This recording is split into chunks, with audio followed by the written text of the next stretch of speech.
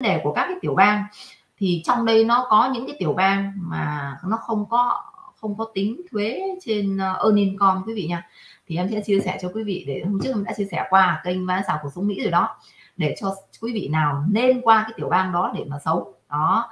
Những cái tiểu bang đó là rất tuyệt vời cho những người tiết kiệm này. Ai mà sống tiết kiệm là qua đấy là giàu nhanh lắm. Chứ còn giống Vanessa thì chắc là em không nên qua những tiểu bang đấy. Tại vì những kiểu, tiểu bang đấy không dành cho những người chơi trader tại vì những tiểu bang đấy earn income nó không có tính thách của tiểu bang thế nhưng mà nó lại gõ vào cái invest nó và sell ví dụ như là đi mua hàng bán mua mua bán đó mua hàng các thứ đó mà quý vị chi tiêu nhiều thì quý vị sang đấy cũng chết tại vì cái thuế nó cao. Ờ, hoặc là đây em sẽ đọc cho quý vị nha. Đọc những tiểu bang này cho quý vị rồi.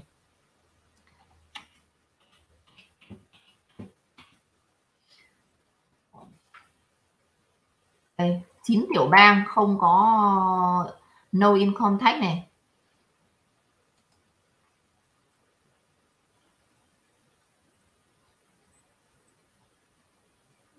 Đi sang những tiểu bang này, những ai nên sang em sẽ chia sẻ cho quý vị luôn.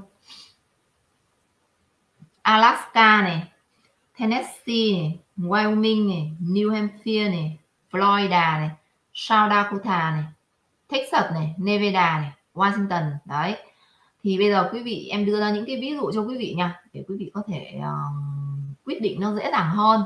Đó ví dụ như Thích Sật thôi cho nó dễ tại cộng đồng của người Việt mình ở Thích Sật rất là nhiều. Thì ví dụ như là Thích Sật nha thì quý vị sang đó có đúng là quý vị thấy nhà nó rẻ cực kỳ không? Bên này là phải uh, một triệu hai triệu mới được cái nhà ngon ngon bên đấy 600 500 được cái nhà quá ngon lành quá đẹp luôn thì hôm trước có anh chị nào nói là em em nói là thách tiền nhà nó, nó lên tới 6 phần trăm là tại vì em nghe cái đứa bạn của em nó ở bên Texas đó thì nó bảo vậy nhưng chắc là nó nói nhầm. Thì mình cũng chưa có minh chứng cho nên là mình đã lỡ lỡ nói trên video với quý vị như vậy nhưng thực ra nó thấp hơn rất là nhiều.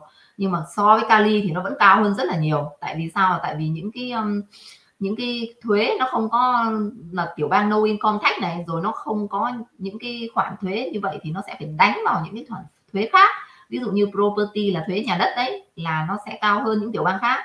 Rồi sell tax là cái vấn đề mình đi mua bán đi đi siêu thị các thứ mình bình thường. Là đi sell tax ở bên đó nó cũng giống kiểu dạng ờ, thuế buôn bán đó, là nó cũng đánh rất là cao. Hoặc là investment những người nào mà chơi cổ phiếu đầu tư là quý vị cũng đóng cao hơn những tiểu bang khác rất là nhiều.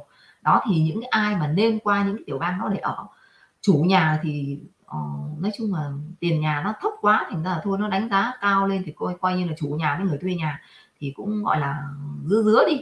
Thế nhưng họ vẫn cho rằng người đi thuê nhà vào những cái chín cái tiểu bang đó thì vẫn hút hơn là chủ nhà. Tại vì là property của những cái tiểu bang đó thuế họ đánh cao hơn những tiểu bang khác. Cho nên họ nói là sẽ có lợi cho những người đi thuê nhà thôi chứ không có lợi cho chủ nhà. Đó rồi những người nào mà có những cái những người mà spend money á, là ờ, thuộc dạng tiết kiệm saver person chứ không phải là spender. Có nghĩa là những người nào mà chỉ có tiêu pha thôi thì không nên qua những tiểu bang đó. Còn những người nào mà thuộc vào saver có nghĩa là những người tiết kiệm đó thì nên qua những tiểu bang đó vì quý vị sẽ tiết kiệm được rất nhiều tiền. Ví dụ như là income ở bên bên California này là hôm trước họ cũng lấy ra một cái ví dụ đó. Ví dụ là lương income 90 ngàn thì phải đóng ờ, uh, 6 ngàn tư tiền income của tiểu bang thách thế nhưng mà sang bên Texas thì quý vị sẽ không phải đóng cái khoản 6 ngàn tư đó, coi như là quý vị được bỏ đi, coi như là tiết kiệm được hẳn cái khoản 6 ngàn tư. Nếu như mà ở Cali là sẽ phải mất cái khoản 6 ngàn tư đó. Thì đấy là cái ờ, đưa cái ví dụ như vậy. Đó thì còn lại, những cái người nào mà ăn chơi nhảy múa, tiêu pha không phung phí, kinh khủng này, rồi chơi cổ phiếu, investor trên tiền điện tử hay là stock các thứ này, thì cũng không nên qua những cái tiểu bang đó. Đó, thì họ cũng nói là ai nên qua thế họ họ nói là những người vừa hưu á, thì lên qua những kiểu tiểu bang đó là vì sao? Là họ nói là những người vừa hưu họ không có tiêu. Nhưng em nghĩ những người về hưu là họ cũng cũng cũng đau chơi cổ phiếu bạc mặt ra luôn đấy chứ. Mà chơi cổ phiếu ờ, những investor vào những cái vấn đề investment đó không không phải chỉ có cổ phiếu đâu bất kể một cái loại invest nào cũng không nên là ở trong những cái tiểu bang đó. Tại vì những tiểu bang đó là làm cái nghề invest investor đó là quý vị sẽ phải đóng thuế rất là cao. Đấy còn lại là chỉ có tiết kiệm thôi ừ, tà tà cuộc sống an nhàn thôi thì nên qua những cái tiểu bang như vậy là sướng. Đó, thì ai mà mới qua nè, mà sợ ờ, vẫn đang rất là tiết kiệm đó, mà sợ phải đóng những cái khoản nọ khoản kia như ở Cali, vô cùng đắt đỏ bên Texas thì giá rất rẻ luôn. Nhà cho mướn cũng rẻ cực kỳ luôn, rẻ hơn bên này nhiều. Nói chung là rẻ thì rẻ hơn so với Cali thôi, chứ còn Texas so những tiểu bang khác thì vẫn là mắc hơn đó thì uh, tiêu pha cũng rẻ hơn kali nhiều lắm quý vị. Rồi tiền đổ xăng ôi đổ xăng bây giờ một tháng em đổ 74 28 là 280 đồng là ít nhất tối thiểu. Tại vì tuần nào cũng phải đổ một lần một lần nào đổ là cũng bình quân là 70 đô. Đó. Bây giờ đợt trước đổ 70 70 đồng thì nó còn được 200 à, 373 mai. Nhưng mà bây giờ đổ 70 đồng á, là cứ mỗi lần mà cái xăng của nhà em mà nó xuống đến 20 mai còn 20 mai là em đi đổ thêm. Đó thì thành ra là cứ lần nào đổ nó cũng giống nhau thôi cứ 70 đồng thì mà biết ngay là xăng lên xăng xuống, không cần phải nhìn giá luôn. Thì hôm qua đổ nó lên, nó nó nó còn có ba, nó được có 328 mai. Có nghĩa là nó nó giảm xuống, xăng nó đắt lên nó quý vị, xăng nó mắc lên. Với so với cái tuần trước, có, cách nhau có một tuần thôi đó. Cái tuần trước thì là 700 373 đồng, đó. Thì quý vị tính mà xem. Đấy quý vị cứ tính thật kỹ đi. Nếu như mình kiếm được thật sự rất nhiều tiền ở đây ở Cali ấy, thì ok. Ở Cali là vẫn ngon không có sao. Thế nhưng mà tiền nó vẫn ở cái mức lỡ cỡ lỡ cỡ lại không đủ để hưởng cái chương trình chế độ nọ kia. Rồi phải tiêu pha nhiều quá chẳng hạn. Ví dụ như 50 ngàn cũng không đủ hưởng chương trình EITC của tiểu bang. Rồi cũng trả đủ chương trình medical. Nói chung là nhiều lắm. Chỉ chỉ được mấy cái chương trình khác nữa thôi thôi thì cũng không ăn thua thì những cái bạn đó là nên qua Texas hoặc là qua một trong chín cái tiểu bang vừa em đọc cho quý vị đó, hoặc Florida đó. Đấy, ở thì sướng, ăn uống rẻ rè ra rồi tiền nhà, tiền cửa cũng rất là rẻ. Thì qua qua những cái tiểu bang đó nói chung kali giờ cái gì cũng mắc nhấn sâu ở, sống ở kali rất là khó khăn trong thời điểm. Ví dụ, ôi, anh Johnny Nguyễn. Đúng chuẩn luôn đó mọi người cứ nói là lương tăng gấp mấy lên, lạm phát tăng thì lương tăng. Ô, em đâu thấy, nhà em chẳng có thấy tăng cái gì đó, quý vị ơi. Em chỉ thấy ở bên ngoài cái gì cũng tăng, chứ còn trong nhà mình thậm chí lương lương của ông xã thì bị, còn bị ảnh hưởng, công ty bị mùa dịch nó còn ít đi cơ, nó không được còn nhiều bằng cái năm ngoái đâu. Chắc chắn năm nay sẽ bị income sẽ bị thấp hơn này, tại vì lương nó sẽ bị ít đi đó, quý vị anh chị chị Mai Vũ yêu dấu. Cảm ơn chị yêu. Anh hot lâm cùng cùng bang với chị chị Mai Vũ hả?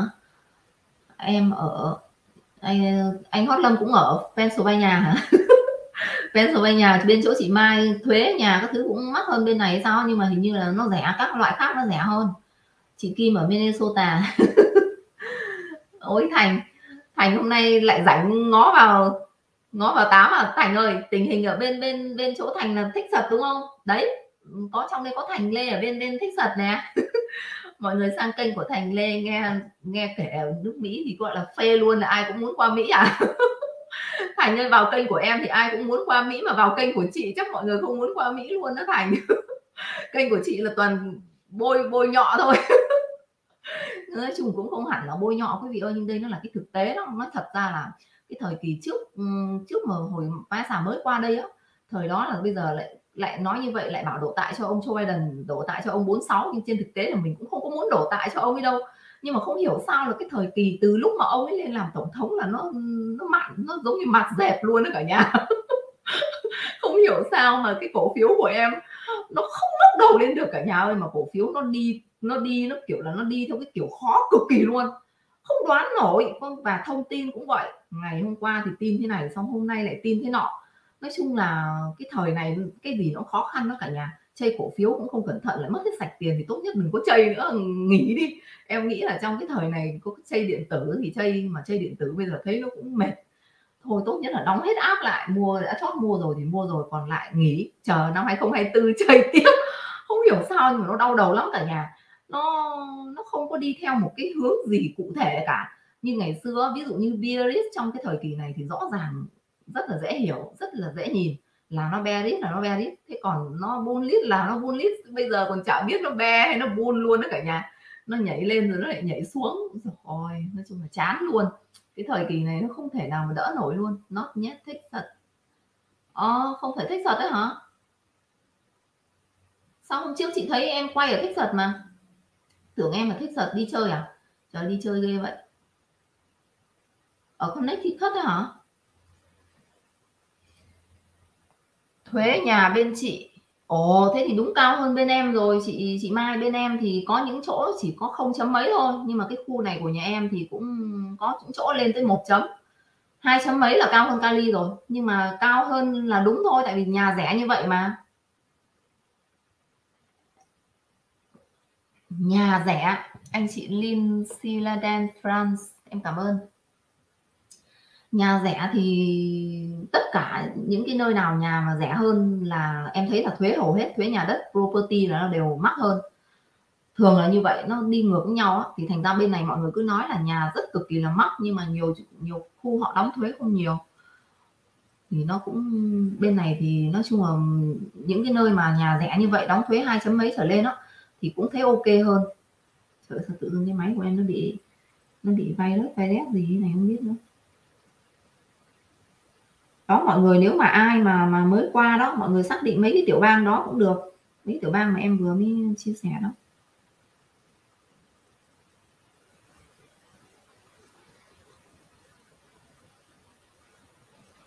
Đây, để em xem có cái tin gì hay hay nữa không? Đọc nốt cho mọi người em xin số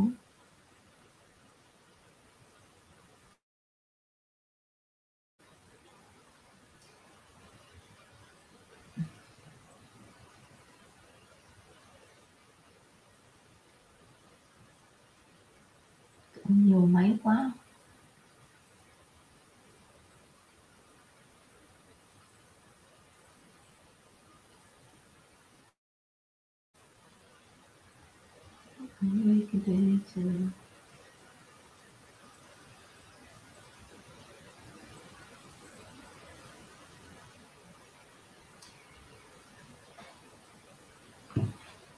Nhà chị đóng 8 ngàn tiền thuế. Trời, thế nhà chị, nhưng mà giá trị nhà chị là bao nhiêu? Cái giá trả giá của nhà chị á.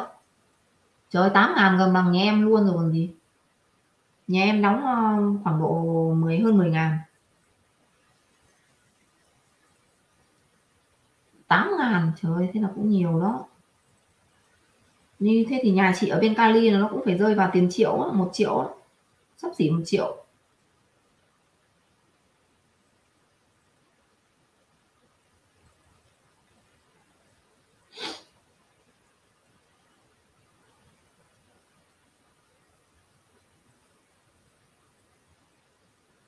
Đấy, họ có cái chương trình mới nữa này. Lại còn có cái chương trình thấp hình phân boost là lên chương trình nữa này.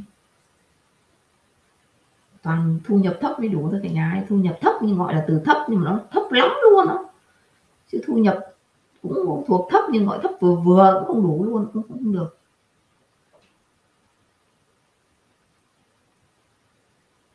À chương trình này hôm trước em chia sẻ cho quý vị rồi nè. Riêng năm 2021 mới có thôi, còn hôm, năm 2020 là họ áp dụng 21 tuổi trở lên chương trình Boost Income đó cho những em nào mà uh, sinh viên từ bất kỳ ai từ 19 tuổi trở lên đó mà không phải là sinh viên toàn thời gian sinh viên nhưng mà không full time mà có thu nhập là sẽ được mở cái yêu cầu tín dụng này. Đó thanh niên 18 tuổi vô gia cư hoặc đang được chăm sóc nuôi dưỡng cũng đủ điều kiện cho chương trình này luôn. Trước đây thì chỉ có những người từ 25 đến 64 mới được hưởng thôi nhưng mà bây giờ cái riêng năm nay là nó có cái chương trình đó, đó chương trình này là hôm trước, nhớ là trong kênh vai xào của Dung Mỹ, lâu lâu rồi em đã chia sẻ rồi là nhưng hôm nay họ lại đăng lại đó, thì đây là những cái chương trình mà họ dùng cái từ boost income đó, là để nhận được những chương trình EITC của cái độ tuổi này mà trước kia không được đâu. Trước kia là phải 24 cho đến 64 là mới được. Còn những người mà single đó 21.430 income trở xuống. Thì cũng được nhận chương trình EITC EITC á, phải thực thấp mới được quý vị ơi. Cao 50 là không được. Bây giờ một mình bán xà là cả cổ phiếu tại vì income của mình nó nó đâu có tính ờ, income uh, ờ, tại vì mình là trader thành ra là cái income của mình nó sẽ bao gồm cả income khác là phần investment quý vị. Mà investment trong những cái mục EITC này á nó chỉ cho quý vị dưới ba ngàn tư nó đấy là tính đủ điều kiện thôi, nhưng mà nếu như mà là ba ngàn ba chẳng hạn, thì nó chỉ còn có vài chục đồng thôi à. Dưới ba ngàn tư, nhưng ví dụ như chỉ có năm 50 đồng hoặc là 100 đồng cái gì đấy, thì còn được hưởng lên tới tiền trăm. Thế còn nếu như mà ba invest ờ, điều kiện dưới ba ngàn bảy, bốn trăm bảy mươi đô trở xuống, mà quý vị được ba ngàn ba trăm năm mươi chẳng hạn, thì coi như nó bằng không mà cũng trả được. Nói chung là đấy là cái tính đủ điều kiện để cho được được hưởng thôi nhưng mà phải cực kỳ ít hoặc là một hai đồng gì đấy trên cái phần invest thì mới được. Còn invest mà đã có tiền dư ở trong cái mục invest đó, là không có được cái gì hết đâu quý vị ơi. Cho nên tại sao mà nhiều người họ sợ họ không có dám chơi đò là vì vậy. Tại vì một năm khai thuế mà cái phần chơi đò invest mà quý vị có những cái mục tiền invest kể cả những cái mục nào đi chăng nữa thì thường là những cái người nào mà đã dính vào invest đó, thì là thường gia đình khá giả và giàu có thì họ dùng những cái đấy thôi. Còn cho nên ai mà mới qua Mỹ mọi người cũng phải cẩn thận. Nhiều người sợ không có dám mua bán cổ phiếu hay là invest đầu tư những cái khác nữa chứ không phải là chỉ là cổ phiếu. Hoặc là họ chỉ dám invest long term thôi thì ok họ không có bán họ chỉ có bỏ vào đấy đầu tư thôi thì kể cả lãnh tiền thất nghiệp bỏ vào đấy đầu tư mình không có bán ra. Thì không có sao nó cũng không ảnh hưởng luôn. Chỉ trừ khi nào mình bán ra thì lúc đấy nó thuộc vào long term cổ phiếu rồi thì nó cũng không có ảnh hưởng nhiều. Income mà thấp á, thì uh, income còn không phải đóng cơ thế còn income mà ở cái mức bao nhiêu thì phải đóng rất thấp 10 cho đến 15 phần trăm thôi à. Cũng không có nhiều. Đấy thì đấy là cái phần mà hôm nay họ cũng đưa ra thêm cho mọi người đó. Riêng năm 2021 này ngày trước là chỉ có được từ 25 đến 64 tuổi thôi. 24 tuổi trở xuống là không được. Thì bây giờ họ tính cho từ 19 đến 24 là sẽ được luôn cái khoản EITC những ai mà các nhà quý vị có con em sinh viên thuộc vào cái diện không phải full time đó là sẽ được lên cái chương trình này nha. Có đi làm nha chứ không đi làm thì không được. Còn thanh niên 18 tuổi vô gia cư hoặc đang chăm sóc nuôi dưỡng cũng được đủ điều kiện để nhận cái chương trình gọi là boost income trong cái năm thu nhập của đợt này nha. Ờ, những người mà làm việc trả lương cực kỳ thấp đó bị giống kiểu đi làm thêm đó thì các em có những cái khoản thu nhập như vậy nhưng quan trọng là các em được cái hưởng cái phần EITC của liên bang. EITC này cũng khối tiền ra đó. Còn hơn là, là vừa không phải đóng thuế. Coi như được nhận lại refund sau khi trừ đi thuế thì trả đáng bao nhiêu rồi trừ đi rồi vẫn còn lãnh được cả cục luôn.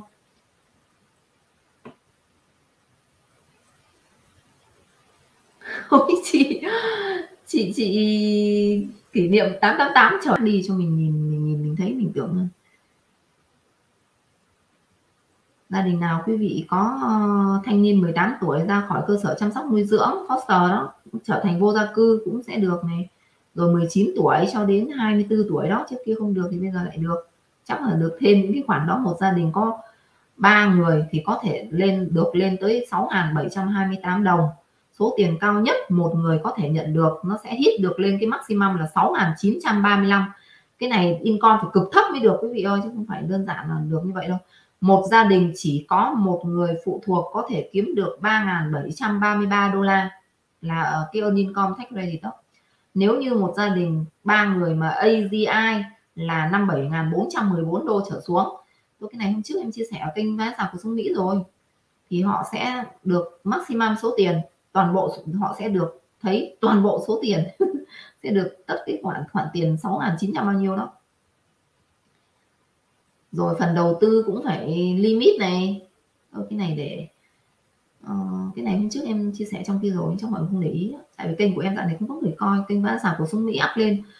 Toàn những cái tin mà tiền thuế các thứ mình up lên cái bảng tính các thứ mà từ lâu lắm rồi mà em up lên. Tại vì bên hôm đấy AIS nó đã thông báo cho năm 2022 rồi nhưng mà em chả thấy ai coi cả nhà. Cái kênh đấy hình như bây giờ nó bị chết rồi sao nó nó bị dead rồi không có ai coi mà những cái người mà mãi sau này họ mới nói thì hỏi bây, thậm chí bây giờ họ mới nói này thì cứ mọi người vào ào ào coi. Còn mình chia sẻ thì cách đây hàng tháng trời rồi chẳng có ai coi cả, nhà ơi, chỉ có vài anh chị em ủng hộ thì vẫn còn coi thôi, chứ còn lại là những người đi đâu hết rồi á. Có vài trăm view à? Sơn đi đỗ có tiền không? Mọi người ai vào hỏi vụ gì đấy có tiền không? Toàn tiền refund với các loại tiền thôi anh trai chứ gói cứu trợ thì chết rồi chuẩn bị chôn rồi chứ không có. Rồi em chia sẻ dài quá video rồi em xin xuống nha cả nhà yêu dấu ơi. Có tiền không? Tiền tiền tiền. Rồi tiền nó làm cho con người uh, đau đầu mệt mỏi làm cho con người sung sướng rồi cũng làm cho con người triệt. Nói chung là đồng tiền nó có cái sức mạnh khủng khiếp thật uh, tình cảm cũng có thể thay đổi bằng tiền rồi tiền cũng mua được tình cảm. Đấy rồi nó làm cho mọi người có tiền là vui lắm. Nhưng mà nhiều lúc á những người mà không có bị uh, gọi là những cái bệnh gì đó mà vẫn sống khỏe mạnh từ ngày xưa đến giờ thì họ vẫn coi cái vấn đề tiền nó vẫn là quan trọng nhất. Thế nhưng mà khi mà ờ, mắc phải một cái căn bệnh nào đó mà cái chết nó cận kề thì lúc đấy quý vị sẽ thấy là cái sức khỏe nó rất là quan trọng và lúc đấy quý vị sẽ không có nhoai ra vồ bập để kiếm tiền đâu. Mà quý vị rất là lo cho cái tính mạng của quý vị thì lúc đấy quý vị mới biết được khi mà mình khỏe mạnh thì mình hãy bảo vệ cái sức khỏe của mình. Tại vì cái sức khỏe của mình nó mới là quan trọng nhất tiền nó luôn luôn chỉ là đứng đằng sau thôi. Nhưng không ai biết điều đó cho đến khi họ bị mắc một cái căn căn bệnh nào đó thật là nghiêm trọng thì họ mới mới, mới nhận ra cái điều đó. Ờ, không phải là ba là tự nhiên mà mà mà mình trải nghiệm ra được đâu mà đấy là cái kinh nghiệm đó là em đã từng trải qua rồi. Trước kia là em cũng ham lắm, là ngày ở Việt Nam là em cũng cắm đầu cắm mắt là kiếm tiền không có để ý gì hết luôn đó. mà từ ngày qua Mỹ mà tại sao cái thời kỳ 4 năm đầu qua Mỹ mà em không làm cái gì hết mà thời sinh viên đầy đầy thời gian mà cũng không có làm YouTube luôn. Nói chung chả làm cái gì đến lúc có con rồi mới đi làm YouTube, lúc bận túi bụi rồi thì mới đi làm YouTube. Thì ngày đấy là cũng vừa mới thoát khỏi cái căn bệnh xong quý vị và cảm giác như là mình, bây giờ mình không có thiết gì cả, được sống là một cái niềm vui sướng nhất rồi. Thì tiền nó không có quan trọng nữa. Đó, cái lúc đấy là nghĩ nghĩ tiền nó không quan trọng nữa, quý vị ạ. Nó nó vô thường lắm, cuộc đời rồi nó đi lúc nào không biết. Rồi mình cũng cũng không có sống chết vì đồng tiền. Đó, còn trước kia là thực sự ở Việt Nam là bán xà làm nhiều việc lắm, quý vị, và tham lắm rồi cũng giống như là sống chết vì cái đồng tiền đó, rồi cũng không để ý đến sức khỏe của mình. Cho nên là nó mới bị những cái căn bệnh hiểm nghèo. Nhiều người không để ý đến sức khỏe là quý vị phải để là nghiêm trọng lắm. Vì em đi làm trong cái thời kỳ 10 năm trong casino là em làm ban đêm. Cái thời kỳ sinh viên đó là chỉ có đi học ban ngày ban đêm, làm đêm đến sáng luôn. Là đứng làm cái công việc. Còn có đứng không à? Bị thái hóa cuộc sống khi mà mới có 20 tuổi 21 à hai mấy tuổi. Là đã bị thoái hóa cuộc đốt sống ba rồi. Tại vì đứng nhiều quá rồi tham quá, làm quá nhiều việc, đồng tiền nó làm cho quay cuồng đó quý vị. Cho đến khi mà cái sức khỏe nó không còn nữa thì đúng rồi, nhiều người bây giờ họ là như vậy no money ở no honey luôn. Mà cách gì người ta cũng chỉ nghĩ đến tiền thôi. Bây giờ người ta nhìn cái gì người ta cũng chỉ nghĩ đến tiền quý vị. Cho nên là nó mệt mỏi ở cái chỗ đó. Khi mà cái tình người nó không còn nữa và đồng tiền nó đã mua được cả cái tình người thì nó là như vậy. Và cuộc sống hiện tại bây giờ là đa số là như vậy. Tại vì ít mấy người mà sắp cận kề với cái chết mà họ quay về được đâu hiếm lắm thì những cái người nào mà quay về được thì còn lại những cái người đó là sống không vì đồng tiền thôi là vì sức khỏe. Thế còn những người nào mà họ cận kề với cái chết và họ không thể quay về được nữa mà lúc đấy họ chỉ cần sức khỏe thôi họ không coi đồng tiền ra gì nữa rồi. Tại vì lúc đấy tiền cũng chẳng cứu được vì cái lúc đấy là cái sức khỏe họ đã hủy hoại trong nhiều thời gian.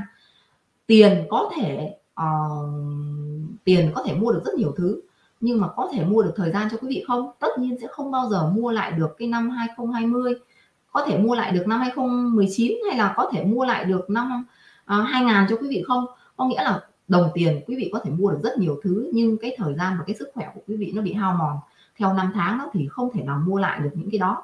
Bây giờ quý vị bảo là ôi bây giờ cho tôi 100 triệu để tôi mua cho tôi 100 tỷ để tôi mua lại cái thời kỳ năm 2002 đi để tôi sẽ làm cái này tôi sẽ không có tham tiền nữa tôi bảo vệ sức khỏe cho tôi để bây giờ tôi không bị ờ, uh, nước ngoái trước trước thần chết hay gì đó. Nhiều người chết sớm lắm mà nhất là cái giới um, những người mà nghệ sĩ thứ tại vì họ họ tham quá. Càng người càng giàu càng tham mà càng kiếm được nhiều tiền thì lại càng ham. Chứ chính là những cái người mà họ không có kiếm được nhiều tiền mà họ cứ sống cuộc sống bình bình thì ok lắm họ không có tham quá đâu. Nhưng mà chính những người mà nhất là giới nghệ sĩ nhà tại vì giới nghệ sĩ họ kiếm nhiều tiền lắm ca sĩ nghệ sĩ các kiểu đó. Là tại sao mà cứ có những người mà giàu như vậy mà trong giới nghệ sĩ như vậy mà toàn có là chết trẻ các thứ thôi? Là vì họ đâu có họ họ đâu có, có, có quan tâm đến cái sức khỏe của họ đâu. Mặc dù họ cũng tẩm bổ nhưng mà tẩm bổ đâu phải những cái thứ mà lành mạnh đâu. Cứ tưởng là đi ăn nhà hàng sang trọng các thứ. Ăn suốt toàn ăn nhà hàng không thôi à. Là tưởng đấy là là là sướng là ngon. Đấy mới là những cái độc hại quý vị chỉ có những cái gì mà mình tự tay mình làm á, mới là những cái đồ gút thôi, chứ còn quý vị đi ăn càng nhiều, ăn hàng quá nhiều thì càng chết. Cho nên là cứ tưởng là họ thấy đi chơi chát tá các thứ rồi ăn uống xa hoa các thứ là tưởng sướng đâu rồi toàn bệnh nọ bệnh kia. Và toàn là những người mà bị chết sớm em thấy toàn là giới nổi tiếng không à. Chứ những cái ông bà và cụ già mà sống hàng trăm tuổi, hơn trăm tuổi mà ở những cái làng quê nghèo khổ sở rồi suốt ngày ờ, sống dân dã, có gì ăn đâu. Họ sống lâu khủng khiếp luôn á, họ đâu bệnh tật gì đâu. Bạn mình làm hơn 10 tiếng một ngày 7 ngày một tuần mà bây giờ bị, ôi, chị ta, chị chị Mai nói bạn chị bị bị tai biến nhiệt liệt nửa người kìa. Đấy, mới có hơn 40 đó cả nhà, nhưng mà trường hợp như vậy cũng nhiều lắm. Chuyện đó tính sau.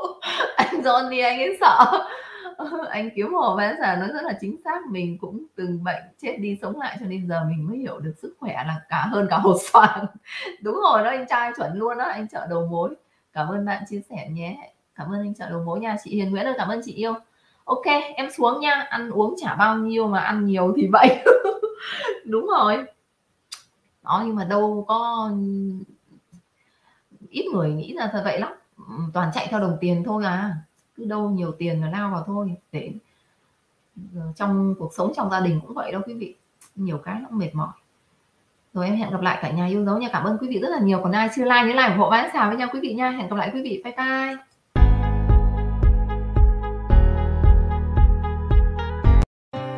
bye.